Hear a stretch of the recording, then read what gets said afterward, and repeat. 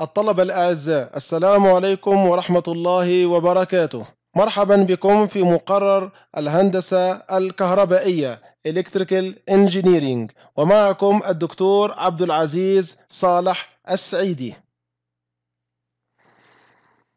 ينقسم هذا المقرر Electrical Engineering إلى جزئين رئيسيين وهما التيار المستمر DC Circuits والتيار متردد وهو ال AC Circuits.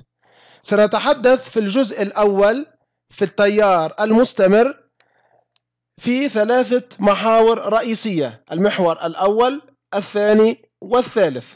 في المحور الأول سنتطرق إلى التشارج والكرنت الفولتج ال power polarity of voltage و passive sign convention.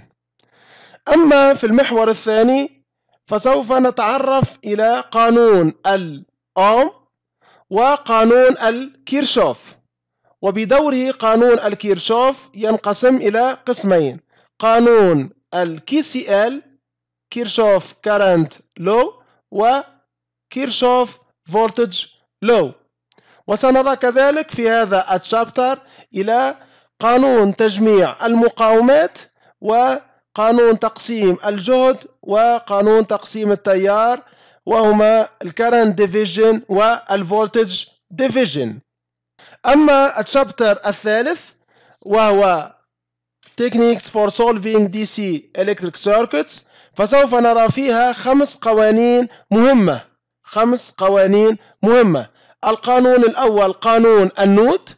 ثم قانون ال mesh قانون ال source transformation قانون ال Thevenin وننهي هذا المحور الثالث بقانون ال superposition.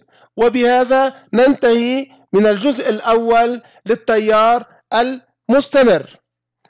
أما في ال part الثانية وهي التيار المتردد ال AC circuits فسوف نرى فيها في المحاور المتبقية سوف نرى sinusoidal source سوف نرى كذلك ال passive element وهما ال inductance وال capacitance ثم سوف نرى نفس القوانين التي رأيناها في الجزء الأول في التيار المستمر سوف نطبقها كذلك في التيار المتردد وهم قانون ال nodal وال mesh. source transformation superposition وقانون ال Thevenin. وسوف نرى آه، يعني كيفية هذه القوانين لحل المجاهيل في ال electric circuits ثم ننهي هذا ال part للتيار المتردد بقانون ال real power أو ال active power قانون كذلك ال reactive power سوف نرى كذلك ال power factor ثم ننهي هذا المحور الثالث بال apparent بال complex power وال power triangle